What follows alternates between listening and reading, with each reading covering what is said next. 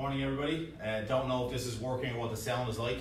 Uh, myself and Mr. Murray are here. Um, try and leave some comments, or if anybody is live, uh, just to let us know if the sound is good or bad. If it's bad, I apologise. There's very little we're going to be able to do today, but at least we'll know for going forward. So, in light of the coronavirus and everything else, I hope everybody's keeping safe. Uh, keep up some kind of fitness regime. Make sure that you're not just sitting watching the TV all the time because that's going to mentally tire you out. Um, so, again, we're going to go through some exercise today, maybe 15 20 minutes. Uh, we're going to be able to just give some little corrections. This is not going to be a heavy fitness class. We're not going to be there to try and teach you how to go running and do all that kind of stuff. We will do a little bit at the end, but this is going to be more geared towards what exercises you can do at home in our confined little space. So like we always do as we start, we will bow, take one. We will go through our warm-up exercises like we always do, go through loosening out our neck, going, starting at the top of the body, working all the way down, our shoulders forward, our shoulders back, loosening out our arms, up and down, all the way around, just loosening them all the way out. Hands to the front, hands opposite direction, Again, I'm speeding this up, members, just in light that this is going to be a, maybe a 20 minute class. But again, you can take all the time you want to go through the motions. Again, stretching out the fingers. So maybe good exercise if you have hand sanitizer, put it on your hands and then start stretching them out. It will help keep us nice and clean and safe. From there, waist exercise, loosen it all the way around, opposite direction, side to side with the hands, and up to the top. And again, we can kind of create, be creative as you're doing some of these things. If you feel that it's too easy, pick up something. Maybe like a bag of flour or a tin of beans, and then hold your hands out to the side, give us a little bit more of an exercise. So once we've gone through the whole motion again, then start down with the legs, go all the way through, and like we do in a, a, a typical class. So once we've gone through and we've loosened up, and again, we should be nice and warm because we're more than likely going to be doing this in our own homes. The next thing we're going to do then is just some dynamic stretching. So from there, typical, just hand up and down, nice and light, just stretching out the legs, going through, and keep it going, nice and easy. Maybe get, you know, 10 or 15 of them, or even if you wanted to do it on time, do it for 10 or 15 seconds. Then you can go out to the side, just keep the legs up to the side, kind of changes the different part of the body that we're loosening up into.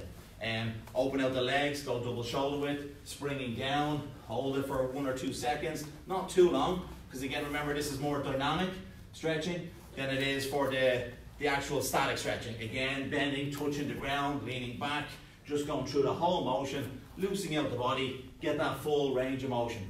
Later on, we will go through some, some static stretching, will help us a little bit better in that. So, next one that we do, we're going to start off, parallel stance. From there, we're going to stick the right hand out, remembering the position of the hands, making sure that we get that straight into the right position. From there, slowly go through the motion and accelerate out. So we will start off slow just to get the motion correct.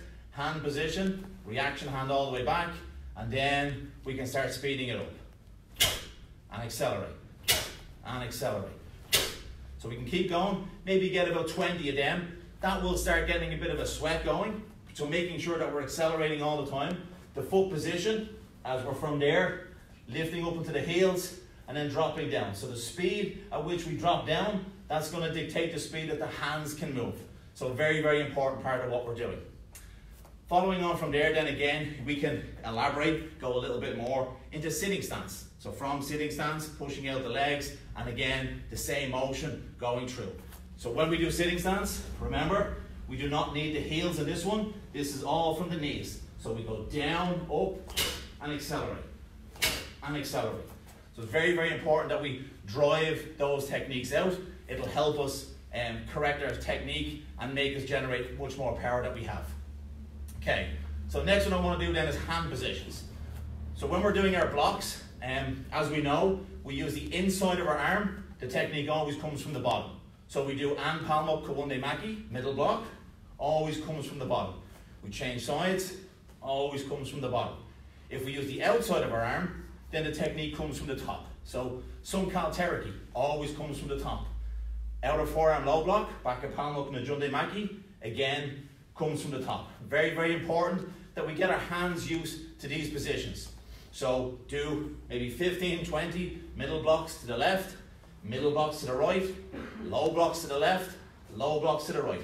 You'll notice I haven't even gone into a stance or done anything. Just again, looking at the confined space. This exercise is just about getting the hands in the right position. So we go to the left, to the right, sun cow, sun cow, and rising block, up and down. Then we can get to some of our more senior grades. We can start doing some of our more senior techniques that we do. So sang palmamaki and the likes of that. So go through the moves that are in your pattern, making sure that we just get them. You don't have to do the whole pattern. You may not have space to do it. If you do, that's great. If you don't, just make sure we're breaking each individual move down as it goes. Okay, so next thing that we're going to start doing is just some drills with our kicks because we're going to start building up our body a little bit. Front smashing kick, always a very simple technique to start off with. Like always in class, do a few slow. So lift up the knee, get the foot position into the correct position, extend out the leg nice and slowly, withdraw, and then down. Then we change legs, same thing again, lift up the knee, extend out the leg, withdraw, and then down. So very, very important, I'll just turn sideways. So as you're kicking, the correct part of the foot, the apkumchi, is pointing forward, it's not pointing up. We don't want this foot position, we want forward. Then from there, step back into our walking stance, extend and kick fast. And fast. So remember, snapping motion, don't hold as it goes out there. We can hold, which will be great, and build the muscles in our legs, but when we're actually executing the kick, and then back down. Very, very important. Okay, next one we can do then is our side piercing kicks, making this one a little bit easier and again with space in mind. Start off in sitting stance. So go from sitting stance, foot to foot, lift up your knee, rotate your hip, kick the leg out, and then back down. Again, start again, lift, up, kick, and then back down. Again, let's get a few of them going, maybe 20 of them on each leg.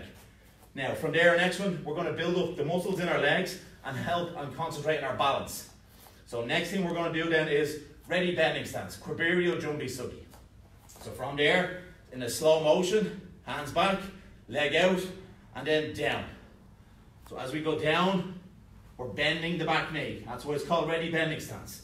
Then we come back up, and then we go through the motion again. Hopefully you're not sitting on mats because mats are a little bit wobbly. It's much easier to do this at home. Then change legs, same idea, hands back, down, and hold. If you can hold this for maybe 10 or 15 seconds while you're down, it's going to build up the muscles in your legs, which will be great for a sine wave. Okay? So that's gone through a bit of the warm-up. That's gone through some of the exercises. So I'm going to bring Mr. Murray out now in about 30 seconds, and then we're going to do some patterns. So I'm going to just pause this while we reset, and then we'll continue on in a few minutes.